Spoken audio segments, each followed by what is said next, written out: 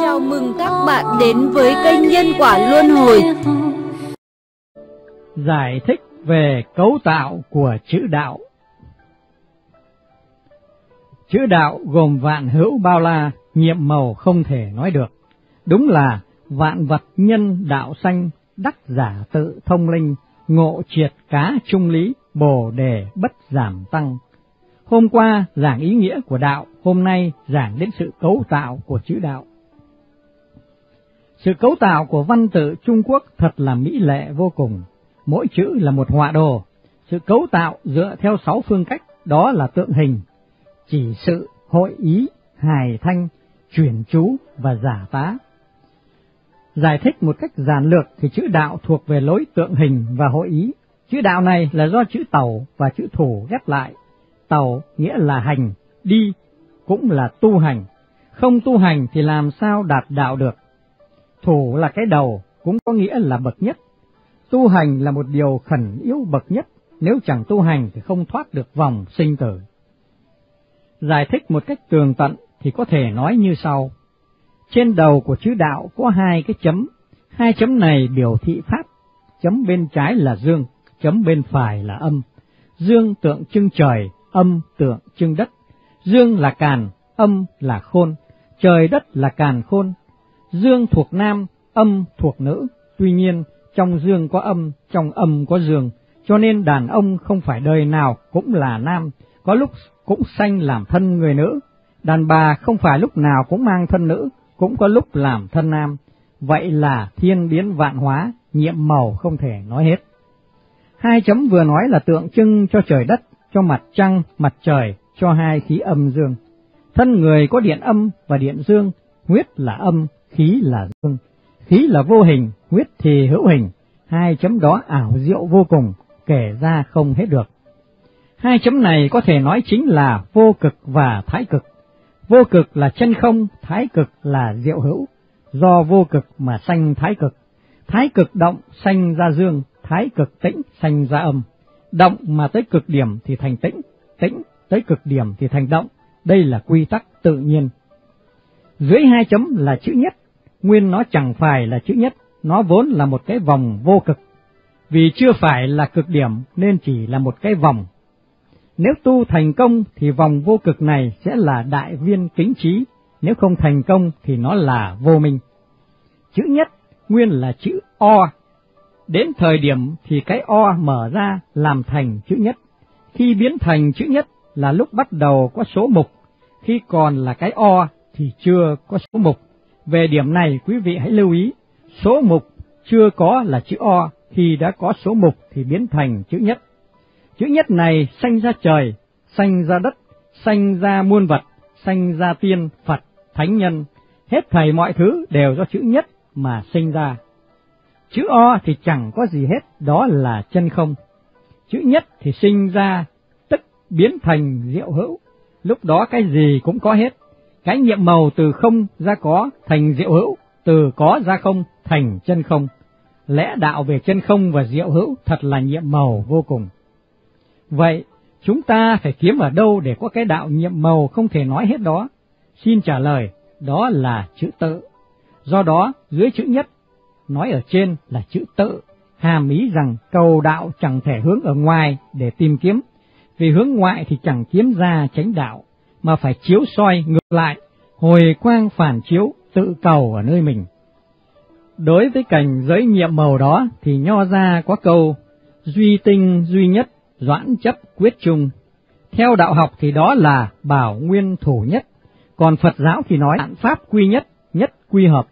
Chữ hợp gồm chữ nhân, chữ nhất và chữ khẩu, hàm ý rằng chẳng có gì có thể nói ra được, cũng là ý nghĩa ngậm miệng lại.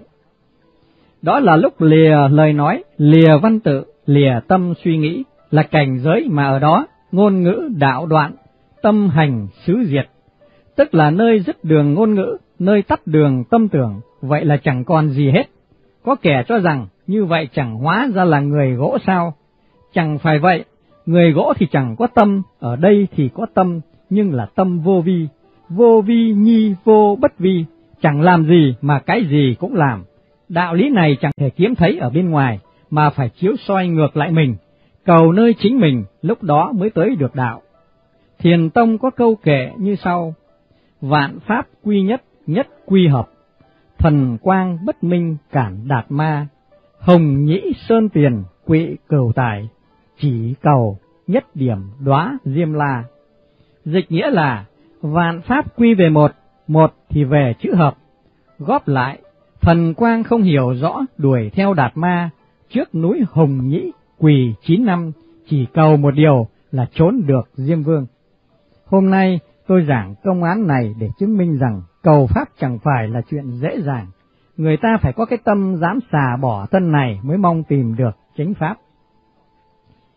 Tổ Bồ Đề Đạt Ma đến Quảng Châu rồi lên bộ. Người từ Ấn Độ đáp thuyền đi tới Trung Hoa.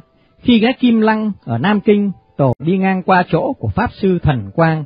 Lúc Pháp Sư đương giảng kinh, Tổ bước ra hỏi, ông làm gì ở đây?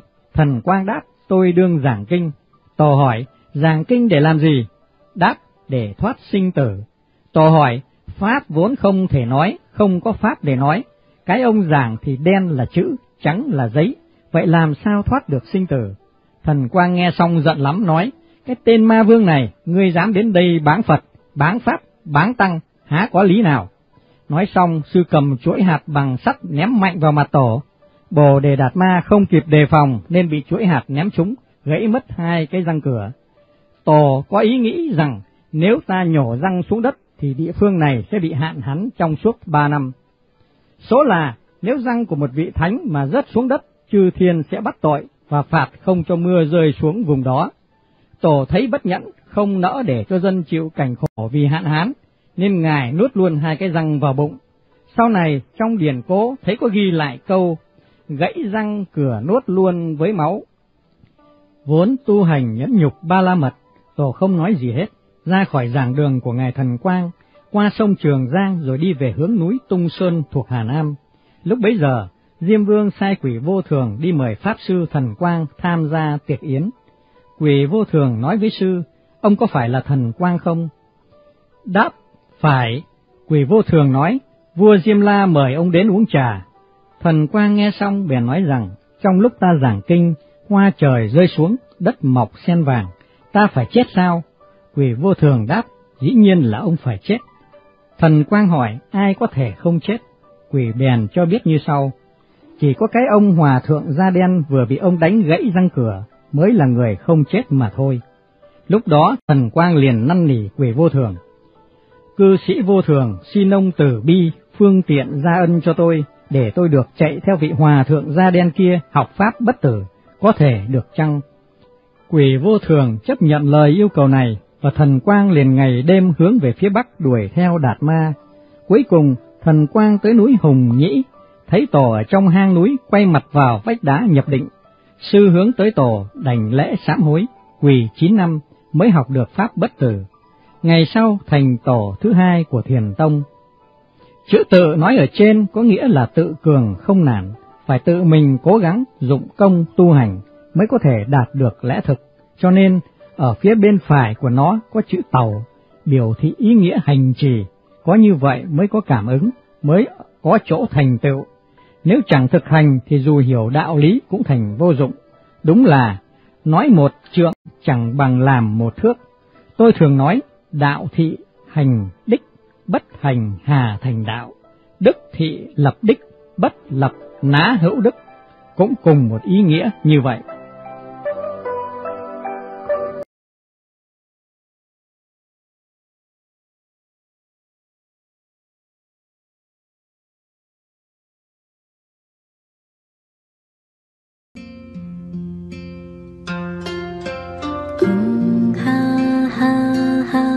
问三摩地所。